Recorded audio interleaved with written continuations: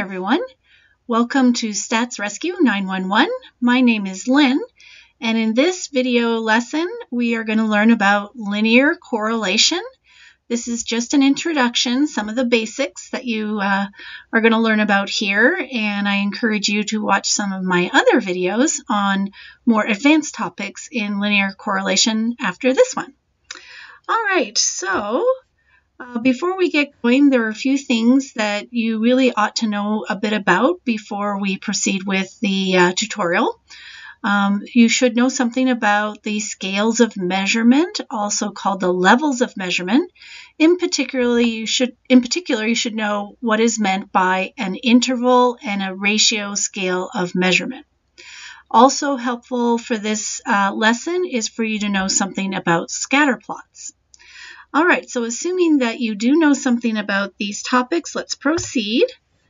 And we'll start with a very basic definition of what correlation means. So first of all, correlation is a statistical technique that tells you if scores on variable x are related in any way to scores on variable y.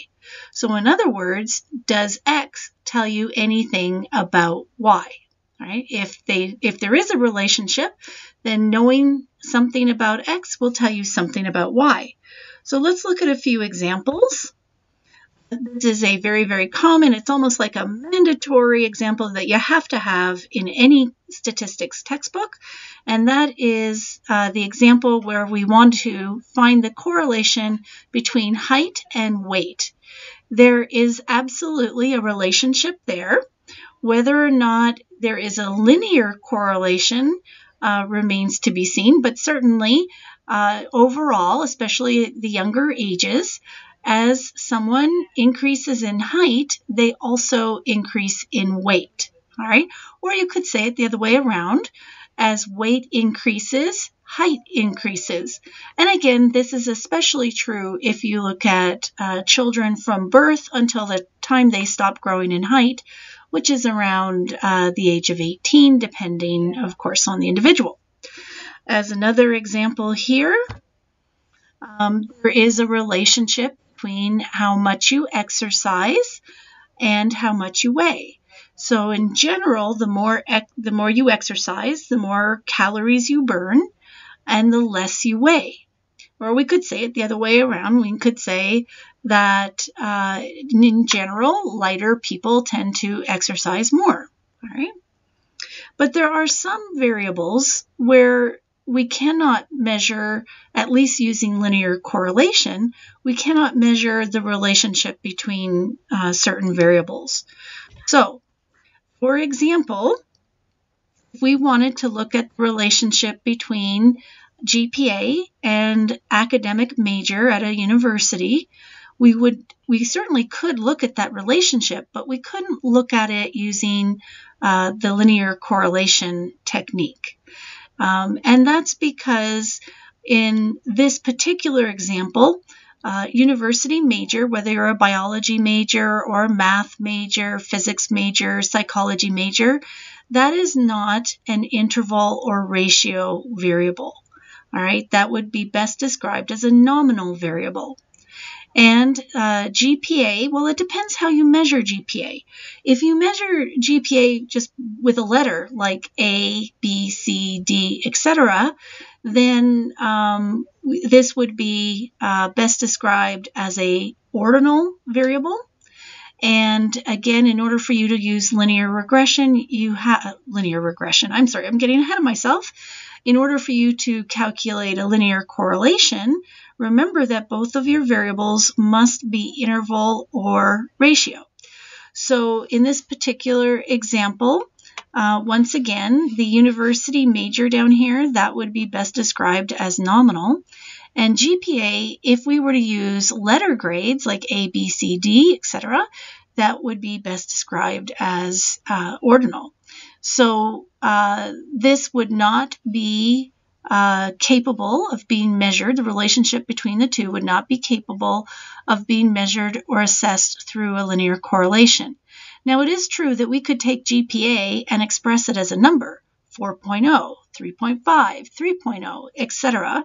And if we did that, then yes, it would fall on an interval or ratio scale, but we would still have a problem because this variable over here is not inter, um, interval or ratio. Okay, so again, just to kind of recap here, um, we could look at the relationship between height and weight because these can both be expressed as an interval or ratio scale. We can look at the relationship between exercise and weight because both of these can also be expressed as interval or ratio variables. But this one down here, this one is not possible because even though we could find a way of expressing GPA as interval or ratio, uh, university major is not capable of being expressed uh, that way. All right. When you run a correlation, and by the way, I don't think I mentioned this before, but when we do a linear correlation, what we're actually using is Pearson correlation, right? It's called Pearson correlation or Pearson product moment correlation. Um, this is what we are using when we calculate a linear correlation between two or more variables. In the previous slide, you saw examples of uh, calculating a correlation between just two variables at a time. That is called simple correlation, but you can also run a correlation between three variables, four variables, five variables, etc., and that's called multiple correlation. All right, so in this discussion, though, since it's only an introduction to correlation, we're going to stick to the two variable or simple correlation examples. All right. All right, so in this slide, you can see that when we run a correlation, uh, we actually end up calculating what is called the correlation coefficient, which is expressed as an R value. So you're going to see R equals and then some number. All right. And again, R is the correlation coefficient. And R can take on any number between negative 1 and positive 1.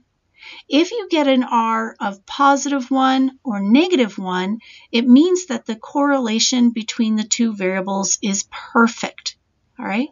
So that means if we know somebody's score on X, we know their score on Y, and we will always know their score on Y. There will never be any um, variation there. So for example, if there was a perfect relationship between height and weight, it means that if, for example, somebody five feet weighs 120 pounds, that will always be true. So if there would be no variation. So uh, if you had 100 people and all 100 people were five feet tall, all 100 people would weigh 120 pounds. All right, so that's what it means to be perfect. All right, when you know X, you know Y, and there's never any variation in Y. Okay, uh, that is for that given X. All right, so uh, if it's positive 1, it means the relationship between x and y is perfect. If it's negative 1, it also means perfect. We're going to talk about the difference between positive and negative 1 in a minute. I want to point out here, though, that if you get an r value equal to 0, it means there is no linear correlation between your two variables. All right, so I like to uh, tell people, remember that zero means null, not a nothing. All right, there is no relationship there, no linear relationship. Now, as our R value gets closer and closer to positive 1, it means that the relationship between your two variables is getting stronger and stronger. Same thing over here, however. As the R value gets closer and closer to negative 1, it means that the relationship between x and y is getting stronger and stronger. And you're going to see examples of this. All right, so as a very, very rough guideline, if you were to see an R value between uh, 0.1 and 0.3. Now, this could be positive or negative, it doesn't matter. But anything between 0.1 and 0.3, that is described as a weak relationship. Anything between 0.4 and 0.6 is moderate, and between 0.7 and 0.9 is strong. Now, just as a FYI here, uh, I would never recommend that you describe a correlation of plus one or negative one as strong. Plus one and negative one is in fact perfect, which goes beyond strong. All right. Now, remember that when uh, I've given you these ranges, this is only a very rough guideline. All right. And remember that this range can be either positive values or negative values. All right. Whether a correlation is negative or positive does not say anything about the strength of the relationship. All right. So if you were to get an R value of 0.9, positive 0.9, or an R value of negative 0.9, both of those R values would reflect an equally strong relationship. I also want to point out that what is considered strong, moderate, or weak actually depends on the field or topic of investigation. So, uh, in physics or chemistry, a relationship that is 0.4 to 0.6, for them, that might be considered pretty weak. In psychology, however, if we get a correlation between 0.4 and 0.6, well, for us, that is actually considered very strong. All right, so it just depends on the field of investigation. All right. Let's now talk about what the sign the R value tells you. All right, so the number itself, whether it's 0.1 to 0.3, 0.4 to 0.6, the actual number tells you how weak, moderate, or strong the relationship is, but the sign, positive or negative, tells you the direction of the relationship. So for example, if you get a negative R value, that means that uh, as scores increase in one variable, they decrease in the other variable. In other words, your scores are moving in opposite directions. So you could say as x increases, y decreases. But you could also reverse that and say as y increases, x decreases. It really doesn't matter. We'll look at some examples here. What is a positive correlation? A positive correlation means that x and y are moving in the same direction.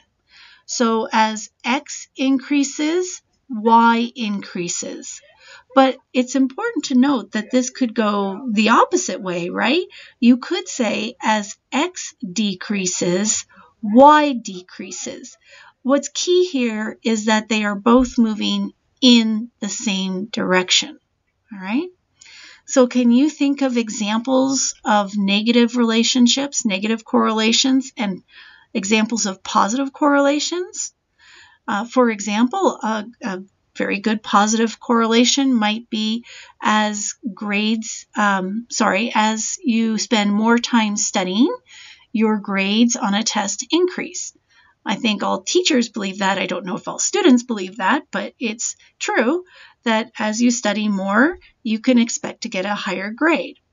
When would we see a negative correlation? Well, how about this? As the temperature outside drops, the more we shiver. We'd have to quantify uh, how we're going to measure shivering, but certainly, as you know, as the temperature drops, you begin to shake more and more and more, and that would be an example of a negative correlation. Now, it's often helpful to visualize what correlations look like by examining a scatter plot.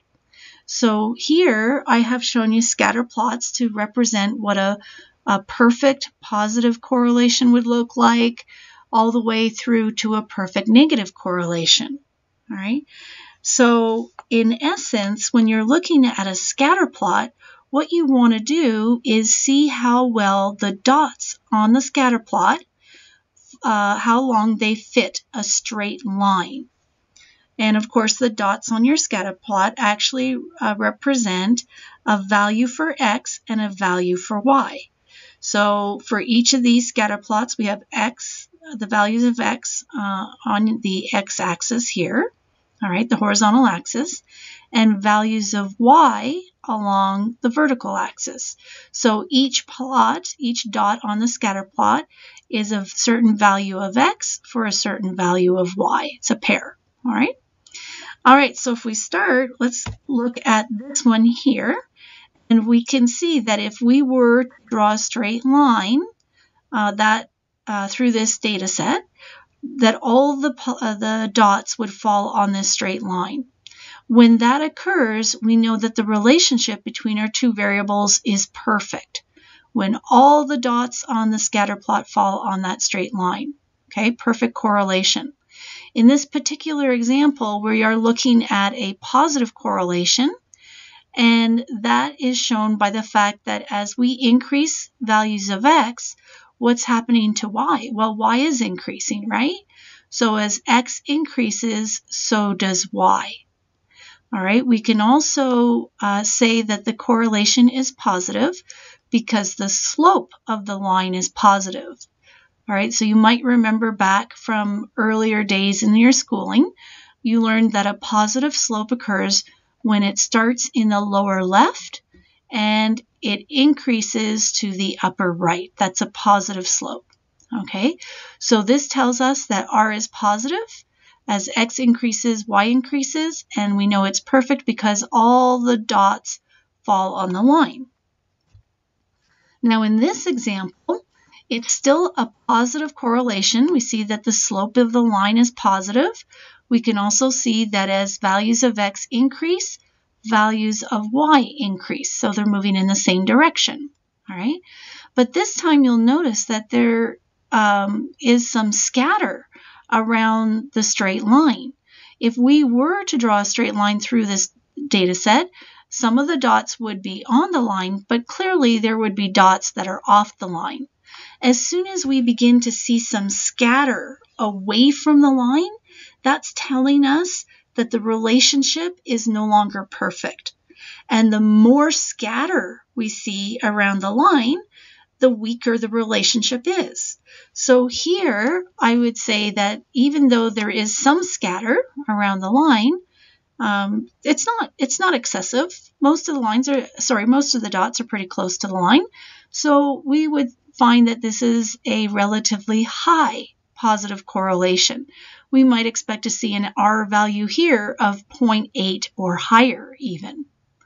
But if we go to the next one, we can still see a linear trend in the data set, right? If we look at these dots, we can see that they move from the lower uh, left to the upper right. So we have a positive slope, a positive correlation. As x increases, y is also increasing. But notice how there's a lot more scatter now. Uh, these dots are further away on average to the line, and so what that's telling us is that although there is still a relationship between X and Y, the relationship is becoming weaker. All right. Now, so far, I've been describing this as saying as X increases, Y increases. But remember that you can say both X and Y are increasing or both X and Y are decreasing. So if I wanted to, I could start here, for example, and if I started in this part of the graph, I could say, well, as x goes down, y also goes down.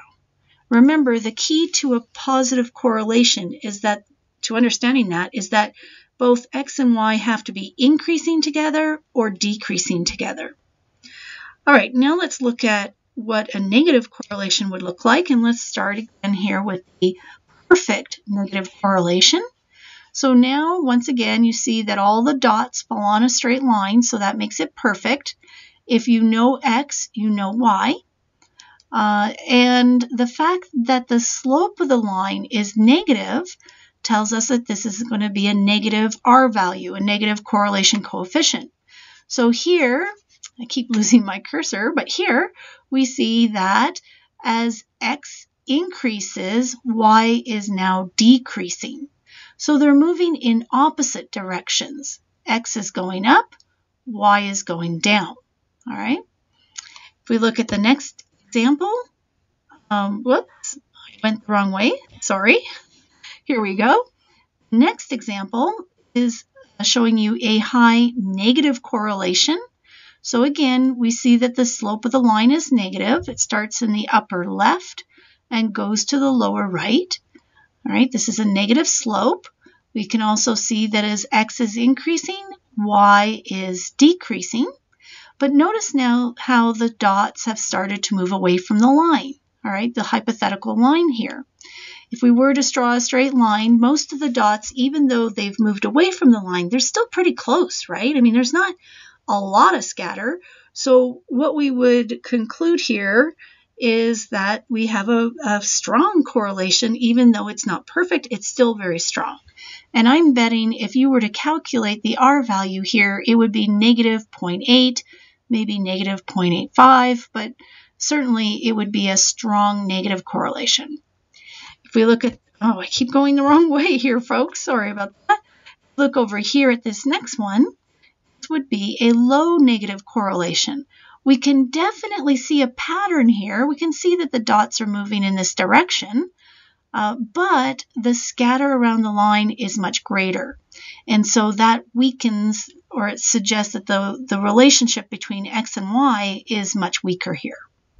And then finally, and I promise I'm going to go in the right direction, here is an example of no correlation. We say there's no correlation because if you were to look at this graph, could you really tell me which way we should be drawing the line? All right, should we draw it this way? Should we draw it this way? We really can't see any reliable pattern between X and Y. It just seems to be all helter-skelter.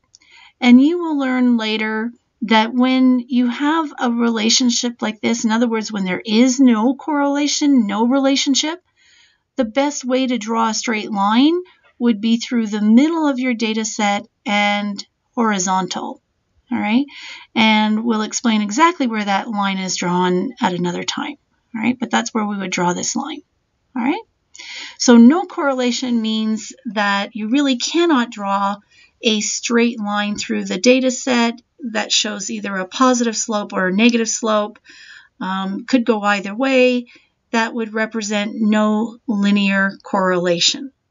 All right. Now, is critically important when you calculate a, a correlation coefficient, when you calculate an R value, if it's Pearson, Pearson product moment, right, that, that linear correlation, you also have to construct a scatter plot because sometimes there are relationships between X and Y, but they're just not linear. And so you can be misled. You can calculate R value, the R value for Pearson, and it could come out pretty low. And you might be thinking, oh, so there's really nothing there. In reality, maybe there is something there, it's just not linear. So if we look at this uh, example over here, all right, we see that there is actually a very strong relationship between x and y. But clearly, it's not linear. In fact, if we were to try and use Pearson's R value to describe this relationship, well, Pearson requires that we look at a linear relationship. So it's going to want to draw a line. It's going to want to draw a line here. And if it did draw a line there, well, if that was our entire data set, we would say, oh, well, we've got a pretty good relationship here, a pretty good linear relationship. But remember that we also have these data uh, points. And so if we tried to draw a line here, we would get almost the opposite, right? We would get a pretty decent relationship um, linear relationship on this side. But remember that Pearson can only draw one line. It can't draw one line here and one line there. It has to draw one single line. And so what's going to happen is in order to try and fit the data, it's going to draw a line that is pretty much horizontal. And so what you're going to see is a very, very low R value remember that when there is no relationship, no linear relationship between x and y, r is going to be somewhere around zero, and you will get that horizontal line, a line without a slope.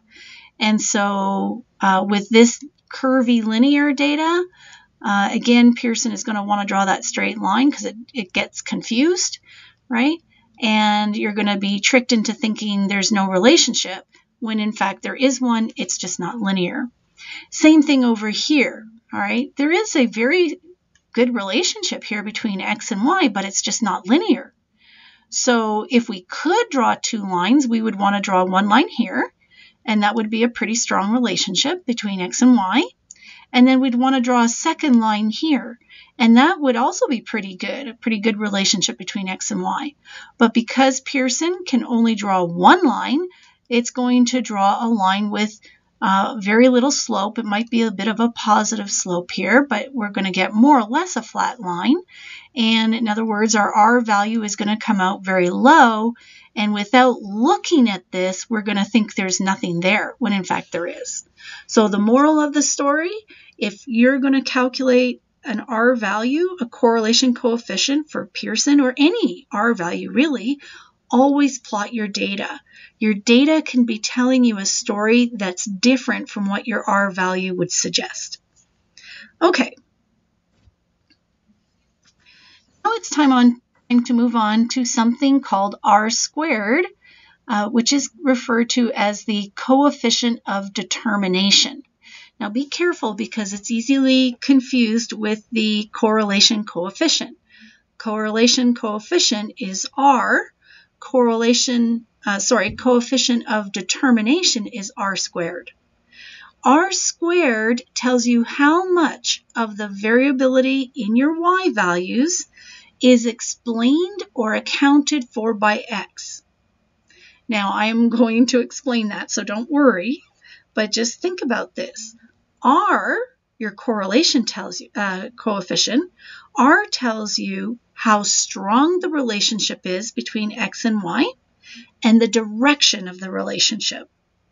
R squared tells you nothing about the direction of the relationship because all R squared values are going to be positive, right? You take any number and square it, it's going to be positive. So R squared tells you nothing about the direction of the relationship. It does tell you, however, how well, that is, how much of the um, variability in y is explained by x.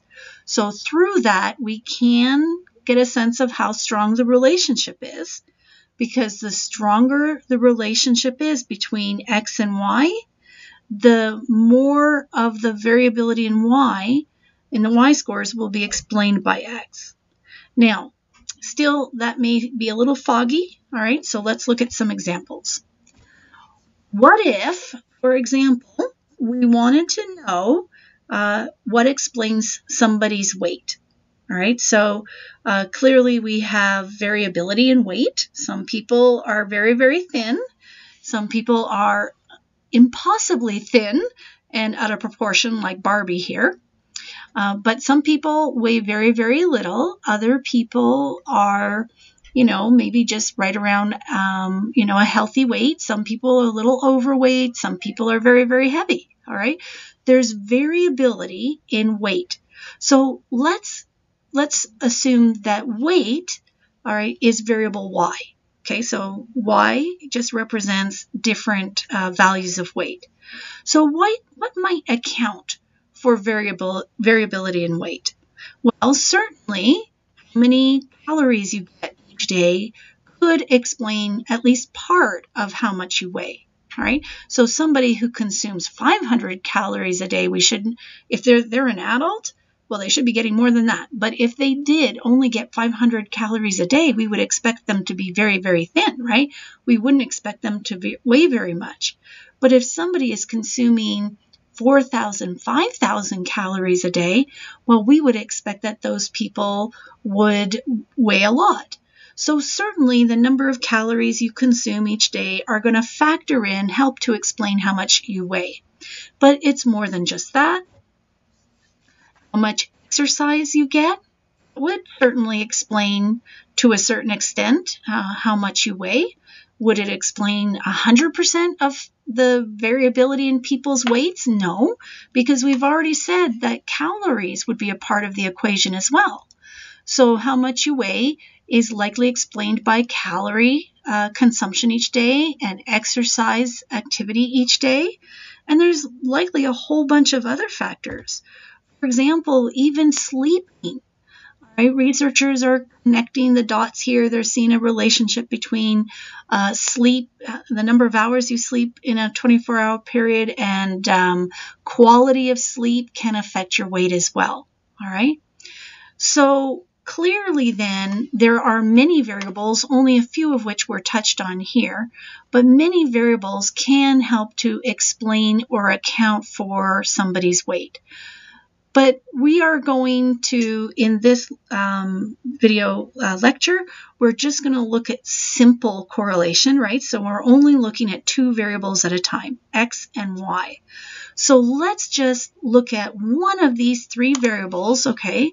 So sleep, calories, exercise, we're just going to look at one of them, and we're going to say how much of the variability in y, in other words, the weight scores, is explained by x. All right, and in this case, we are going to try and explain weight by looking at calories. All right, we want to know how much of the variability in somebody's weight is explained by daily caloric intake. So we're going to focus on calories. So what you would do is you would proceed by calculating the correlation between weight and calories. So you would get a sample of people, and uh, ideally you would want it to be as large as as feasible, as reasonable. But you get a sample of people, and you measure their weight, and you also measure, um, you know, how much they consume in calories on a daily basis. And let's say that you calculated the correlation to be 0.50. All right, so that's pretty decent, right? That would put us, uh, I would say, at least in the moderate category. Again, it depends on the field of investigation, but in this case, 0.50 would be moderate. But in order to figure out the percentage of the variability in Y, that's weight, um, explained by calories, you have to square the R value. So R squared, if you take 0.5 times 0.5, you get 0.25. Now, that is r squared. We often, though, express r squared as a percentage. So we probably want to um, multiply this by 100. And if we do, then we can say that 25% of the variability in people's weights is explained or accounted for by how many calories they consume daily. All right, so that's pretty good. We're saying, well, we can explain 25% of people's weights just by looking at calorie intake. But then that leaves us with 75% of the variability unexplained, right? Because if 25% is explained, and you know we have to get to 100%. If if uh, if, if ever a variable explained 100%, then there would be no other variables involved. But we've already said, look, there's other variables involved when trying to explain weight. Calorie intake is only one of them. We've just determined, okay, well, if, if these numbers are correct, then 25% of the weight is explained. That means 75% is unexplained. All right. But what accounts for the extra 75%? We can call that error, unexplained or error. Well, that's that is a question for more research. We would want to look at activity levels. We would want to look at sleep time. We might want to look at some genetic variables. Um, we might want to look at um, different levels of hormones that are thought to control uh, people's weights and whether they, uh, you know, uh, have a lot of triggers to increase uh, eating or decrease eating, etc. Lots and lots of variables that we could do research on. But in this particular hypothetical study, we only looked at calories and calories explained 25%. Everything else we're just going to chalk up to the 75% and call it error. All right, unexplained or error. Well, that's it. Um, I hope that this uh, introductory video was helpful. And please watch some of my other videos on correlation to learn even more about this fascinating statistic. All right, thanks for watching. Hit that like button. Bye.